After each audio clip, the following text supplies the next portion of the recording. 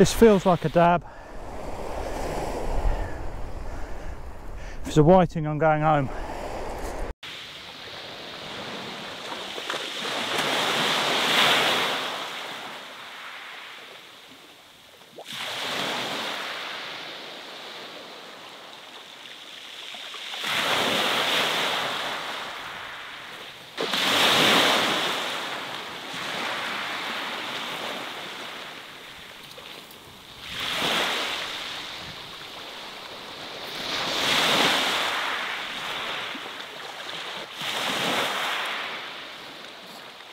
Hey, so we've got a dab.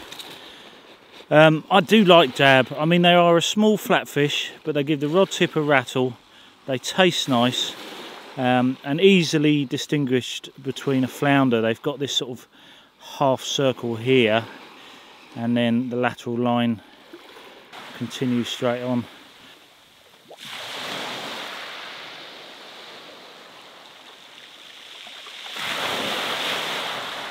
Um, that's one way to tell them apart and see which side the eyes are there as well. And when you run your finger like that back, it's actually rough to the touch. Uh, hook disgorgers are good, but I think what we'll do here, I'm just going to turn that back to front, push it out the right way. And there you go. The dab, brilliant.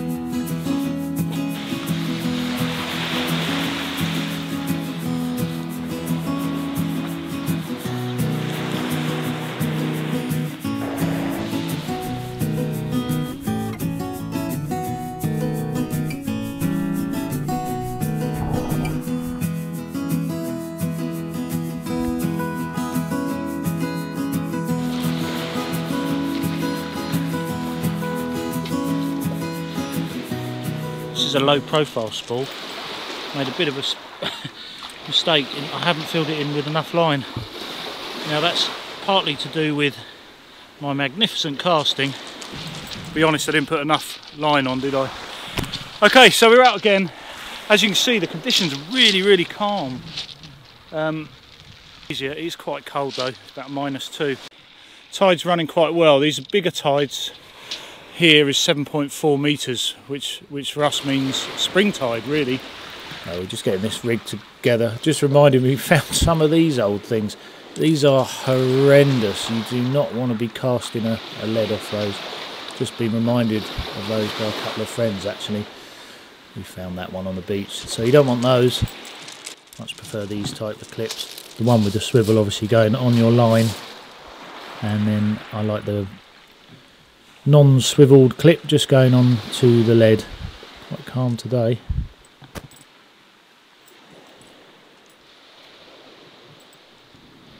These are quite big juicy baits here for these size two hooks.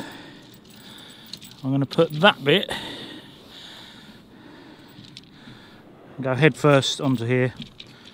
what I'm intending to do with these is, is cast out there's a there's a bit where the current really picks up out there and I want to be on that sort of line. Um, just a hunch, but the plaice prefer the, hard, the faster moving water. Uh, they can move about a little bit easier. Uh, and it's quite slack the tide in here. But actually, when you get a bit further out, I'm not sure if the camera picks this up, but a little bit further out, you've definitely got um, faster running water.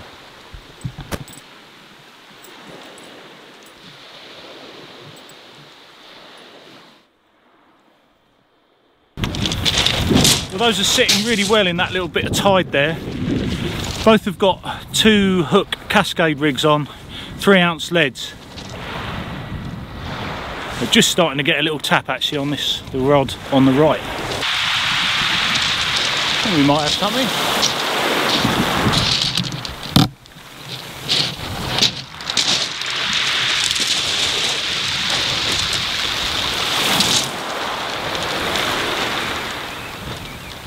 Not really feeling much of a rattle but when I lifted that lead up uh, there was a little tap so there might be something small on here.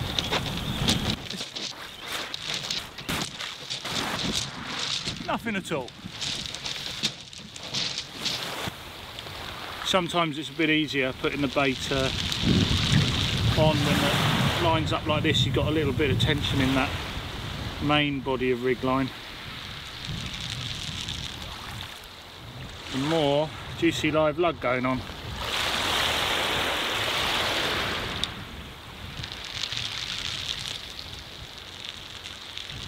I wanted these Cascade rigs because well that's what water's cold in your bum.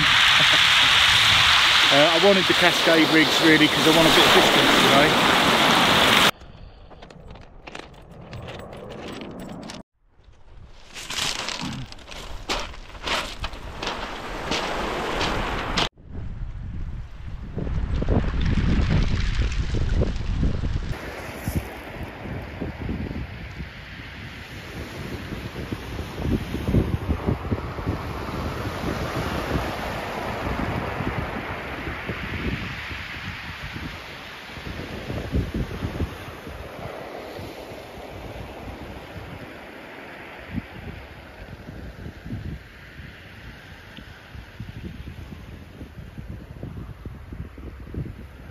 That looks like a plaice bite. Rattle. Well, that was a bit of rattle.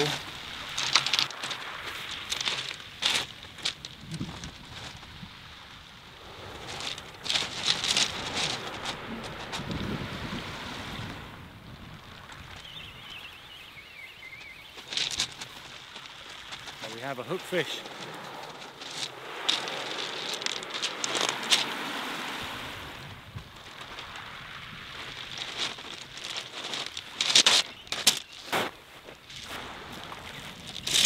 Got off again.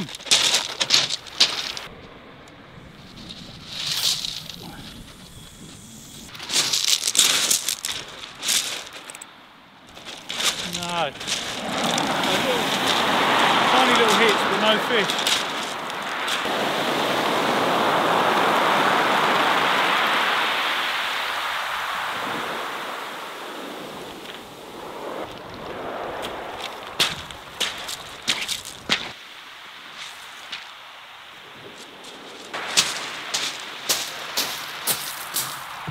Another missed bite.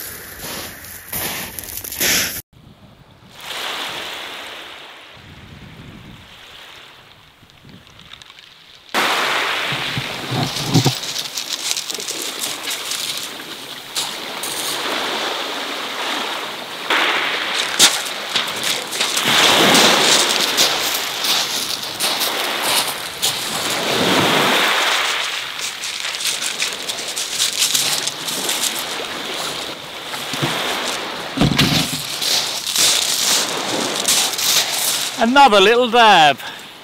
They are such a beautiful little fish. The coloration on this one's a bit different. And I'm using these I'm using these flatfish hooks here. They're slightly offset.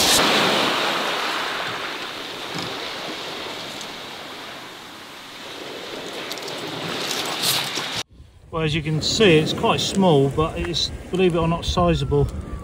Um, but it's very small isn't it? I think we're going to just put this one back. Give it a chance can we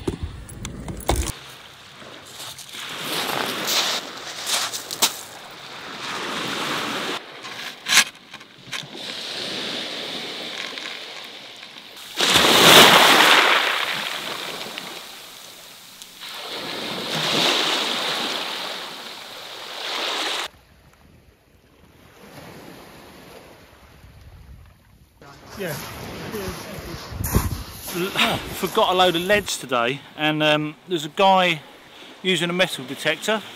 Uh, he actually watches the channel as well. Didn't recognise me, recognised Nelly. Um, what he's come up with for us. Look at that.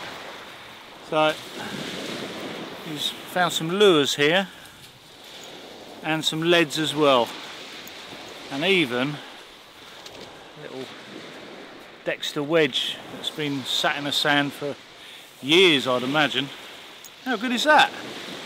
Oh, thanks to him uh, we got some leads and actually do need these because I've forgotten uh, a few lighter leads so brilliant, great.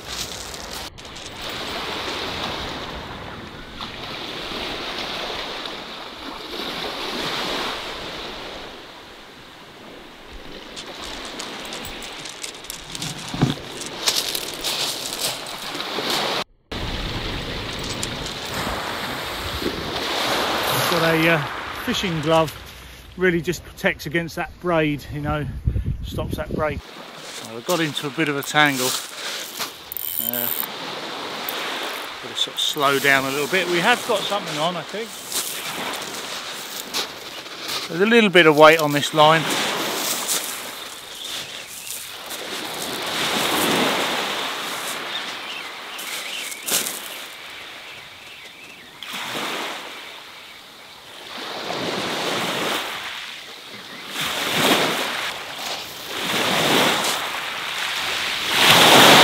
maybe not.